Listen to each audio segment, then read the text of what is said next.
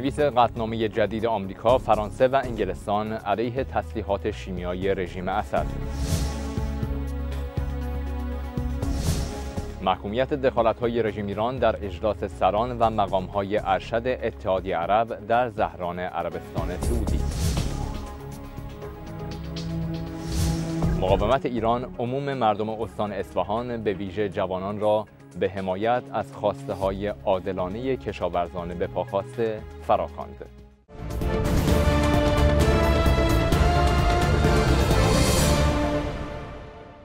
ژنرال کند مکنزی در کنفرانس مطبوعاتی در پنتاگون اعلام کرد رژیم اسد در برابر حملات به تأسیسات نظامی و شیمیایی خود دست از پا خطا نکرد. گزارشی از CNN دونالد ترامپ حملات کاملا دقیقی انجام شد. با تشکر از فرانسه و انگلستان به خاطر درایت و قدرت ارتش خوبشان. نمی توانست نتیجه بهتر از این باشد. مأموریت انجام شد. او شب جمعه این عملیات را این چنین به مردم آمریکا اعلام کرد. The combined American, British and French response to these atrocities will integrate all instruments پاسخ جمعی آمریکا، فرانسه و انگلستان به این جنایات تمامی ابزار قدرت ملیمان را به لحاظ نظامی، اقتصادی و دیپلماتیک در هم ادغام کرد. ما آماده ایم این پاسخمان را حفظ کنیم تا زمانی که رژیم سوریه استفاده از تسلیحات ممنوعه را قطع کند. ما اولین تصاویر را از برخی از ضربات وارده به رژیم اسد مشاهده کردیم. اینها بقایای مرکز تحقیقات در دمشق بوده است. پنتاگون یک جلسه توجیهی برگزار و اعلام کرد حملات نظامی توانایی رژیم سوریه را برای استفاده از تسلیحات شیمیایی در آینده در هم کوبید. ژنرال کنت مکنزی مدیر ستاد مشترک نیروهای مسلح آمریکا در پنتاگون.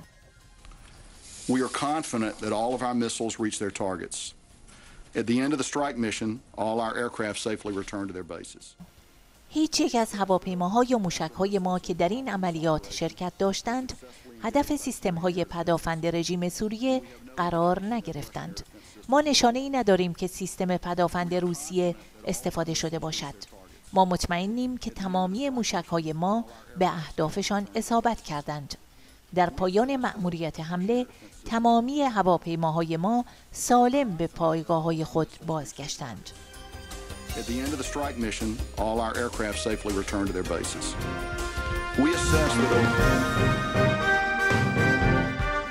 جمیل جعفر بنیانگذار مؤسسه امنیت ملی و مشاور ارشد کمیته اطلاعات مجلس نمایندگان آمریکا به فاکس نیوز گفت وضعیت سوریه و استفاده اسد از سلاح شیمیایی حاصل مماشات در توافق اتمی با رژیم ایران و امتیازاتی بود که باراک اوباما به این رژیم داد. This is not just a one-off thing.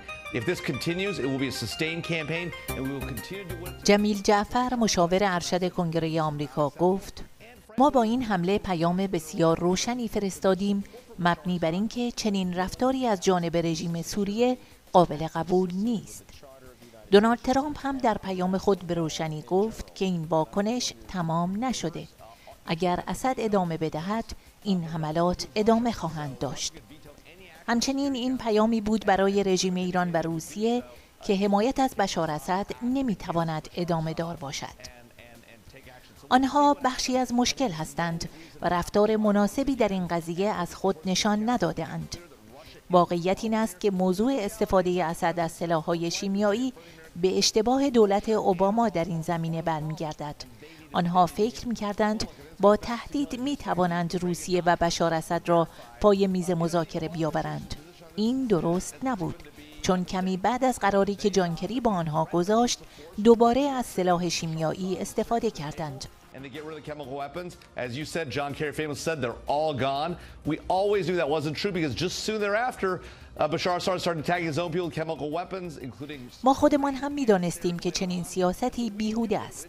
اما سراحتا بگویم چنین اجازه‌ای به بشار اسد بخشی از مذاکرات هسته‌ای ما با رژیم ایران و حمایت این رژیم از بشار اسد بود. به نظر من ما بایستی برای اقدامات بیشتر کاملا آماده باشیم. ما باید حمایت های روسیه و رژیم ایران را در این زمینه خونسا کنیم. زیرا این رژیم بدون حمایت روسیه و رژیم ایران سرپا نمیماند. بنابراین ما باید بهای سنگینی از حامیان اسد بگیریم.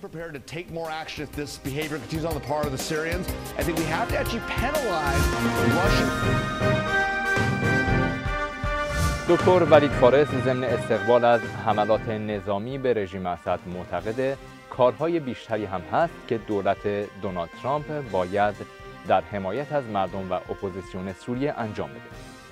بخشهایی از مصاحبه اون رو با اسکای نیوز می‌بینیم. دکتر ولید فارس باید دست به اقدامهای مهم و استراتژیکی در سوریه زد چرا دولت باراک اوباما از روز اولی که به قدرت رسید از اپوزیسیون سوریه حمایت نکرد و آنها را به سوی سرنگونی رژیم اسد سوق نداد. دولت اوباما از سال 2011 تا بهار 2016 یعنی 5 تا 6 سال وقت این کار را داشت. اپوزیسیون سوریه متشکل از گروه های اجتماعی و مدنی اعتراضات خود را با تظاهرات و تبلیغات در فضای مجازی شروع کرد. و حمایت کشورهای عرب را نیز داشت. هنوز کشورهای عرب تقسیم نشده بودند و رژیم ایران هم در سوریه نبود و حزب الله هم در سوریه نبود. ولی وضعیت جغرافیای سیاسی در سوریه تغییر کرد. آنچه امروز باعث نگرانی دونالد ترامپ شده این است که وضعیت در سوریه با گذشته فرق کرده است. روسیه در سوریه چتری را برای رژیم اسد ایجاد کرده و از سال 2015 در سوریه حضور داشته است. رژیم ایران هم کنترل رژیم اسد را در دست گرفته و معبری را از ایران تا عراق و سوریه و لبنان ایجاد کرده است. منظور از این حرف این است که دولت ترامپ چه می‌تواند انجام دهد؟ آیا تمام کارهایی که می‌تواند بکند این است؟ به نظر من نه. این امید وجود دارد که سیاست آمریکا به سرعت تغییر کند و کشورهای عربی هم با آمریکا هستند و این روح مطلب است این وضعیت می تواند به سمت قابل قبولی سیر کند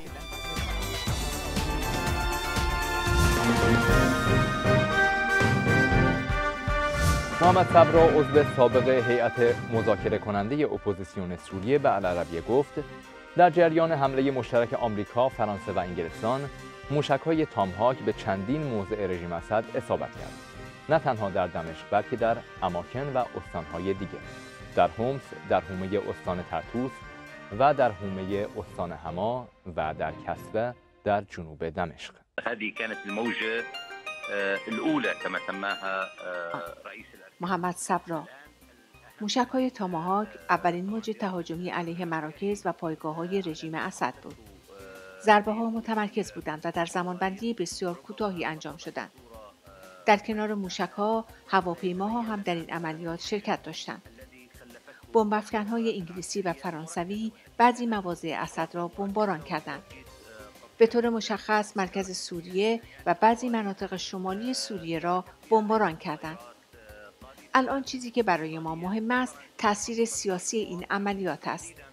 ما در مقابل تحول جدیدی هستیم.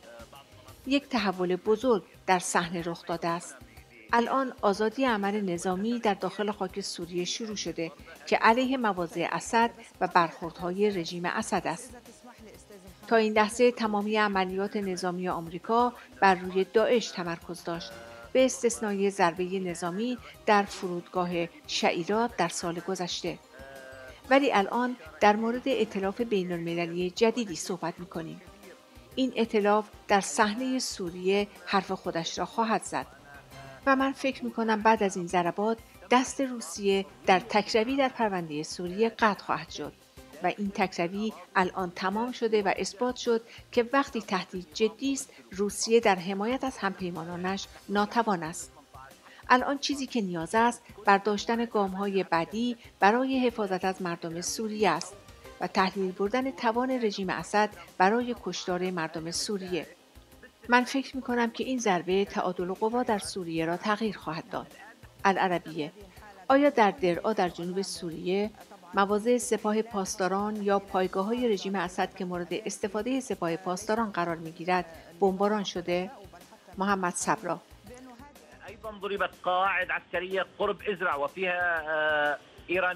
منطقه در کنار ازره منطقه است که سپاه پاسداران رژیم ایران از آن استفاده می کند. در این منطقه شبه نظامیان محلی را آموزش می دهد. همچنین پایگاه زینب در جبل قاسیون بمباران شده و این پایگاهی است که سپاه پاسداران رژیم ایران و حزب الله از آن استفاده می کند. این پایگاه در کنار پایگاه های گارد جمهوری اسد است. به طور مشخص تیپ 105 ارتش اسد در جبل قاسیون است. بنابراین گستره ای از اهداف وجود دارد ولی رژیم اسد و روسیه تلاش می کنند که گستره این اهداف را کوچک جلوه دهند.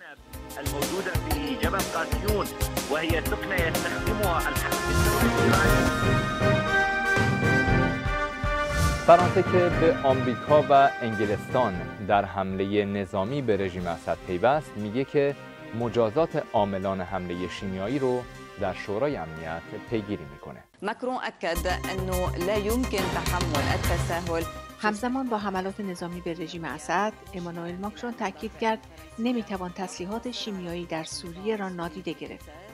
وی گفت حملات فرانسه توان رژیم اسد در تولید و به کارگیری تسلیحات شیمیایی را هدف قرار داده است. در ارتباط با تهاجم کشورهای غربی به مواضع اسد در سوریه، خبرنگار العربیه در پاریس اظهارات امانوئل ماکرون را اینگونه تفسیر کرد. برای چندمین بار امانوئل ماکرون به زبان عربی توییت کرد و هر بار که توییت کرد موضوع آن در ارتباط با خاورمیانه بود شاید این سومین بار باشد که ماکرون به زبان عربی توییت می کند او در هر حال به عملیات سیاسی در سوریه اشاره کرد و گفت این موضوع یکی از اولویت های کشور فرانسه است. ولی سوال مطرح شده این است که آیا این عملیات نظامی فرصت را برای بازگشت به عملیات سیاسی فراگیر و قابل اتکا هموار می کند یا نه؟ در ارتباط با وجه نظامی موضوع هم ریاست جمهوری فرانسه در بیانیه‌ای که صادر کرد اهداف این عملیات مشترک را مشخص کرد و گفت این عملیات به توان رژیم اسد و به تولید و به کارگیری تسلیحات شیمیایی محدود می شود. در بیانیه کاخ الیزه آمده هیچ شکی وجود ندارد که رژیم اسد چنین تسلیحاتی را به کار گرفته و این خط قرمز فرانسه است که از آن عبور شده است. به این دلیل است که به ارتش فرانسه دستور دادم در این عملیات نظامی و ائتلاف با آمریکا و انگلستان شرکت کند و زرادخانه شیمیایی اسد را هدف تهاجم قرار دهد. علاوه بر این فرانسه درخواست کرده که در شورای امنیت مسئول تهاجم شیمیایی در سوریه مشخص شود و کسانی که از تسلیحات شیمیایی استفاده کرده اند مورد مجازات قرار گیرند تا از بکارگیری مجدد این تسلیحات جلوگیری شود.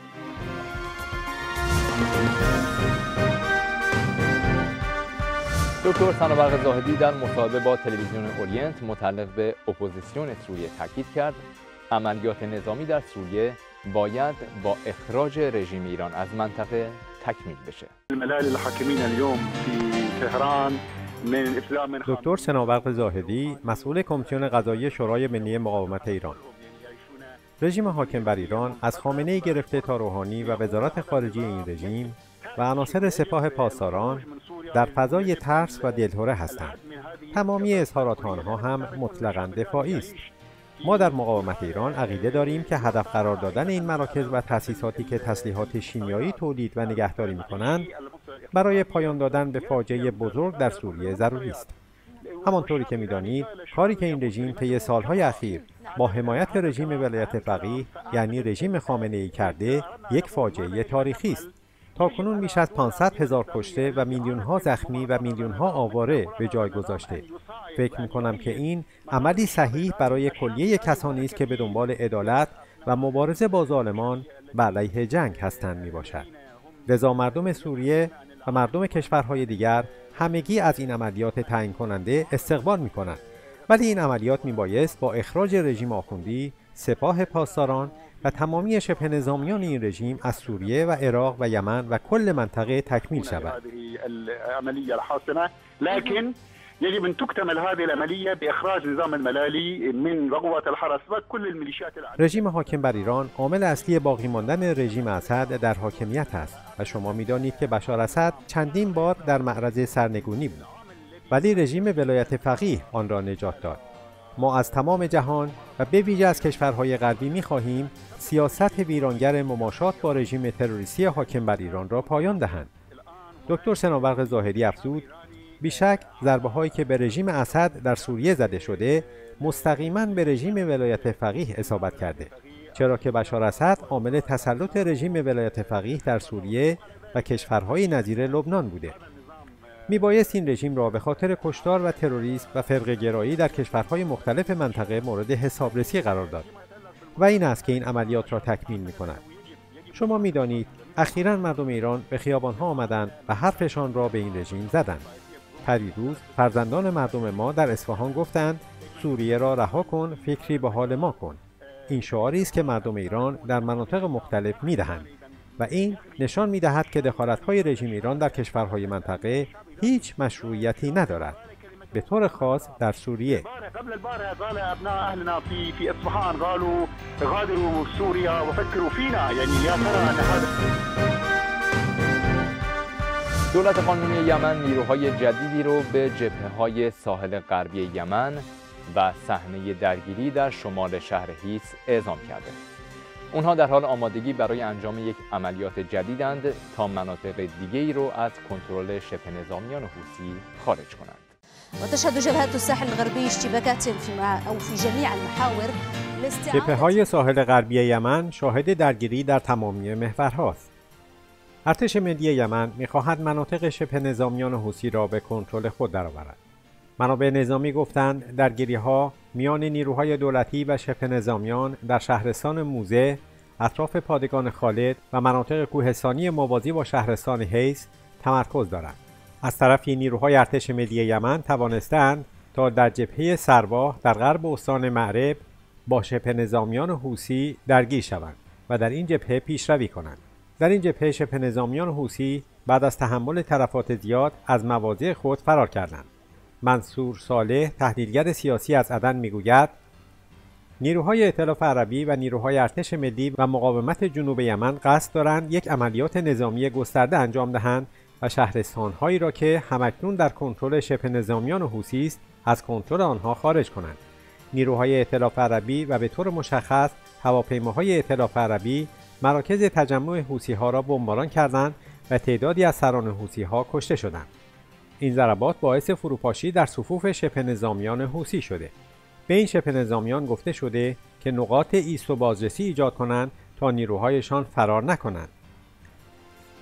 آنها به طور هیستریکی دست به تهاجم می‌زنند به طوری که خانه بعضی از شهروندان را هم تخریب کردند.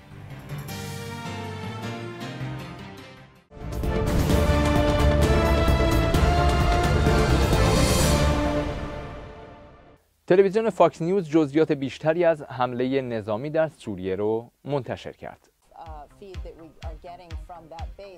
تصاویری که ملاحظه می کنید مربوط به پرواز هواپیماهای تورنادو از پایگاه هوایی انگلستان در قبرس است.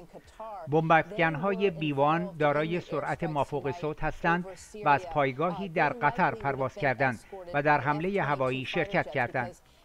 این هواپیما با جت های F-22 اسکورت می شوند که از هر گونه مزاحمت احتمالی از جانب هواپیماهای سوری یا روسی در امان باشند. هواپیماهای بیوان می توانند از فاصله 600 مایلی موشک های دوربرد را به سمت هدف شلیک کنند. این موشک ها جازم نامیده می شوند. بیوان هواپیماهای بسیار مرگباری هستند و در هماهنگی با موشک های تاماهای ناو جنگی دونالد کوک که در شرق مدیترانه قرار دارد کار می کنند. موشک های تاماهاک قادرند تا 1500 مایل مسافت را طی کنند. این موشک ها با سرعت 550 مایل در ساعت پرواز و در ارتفاع پایین و دور از چشم رادارها کار می کنند.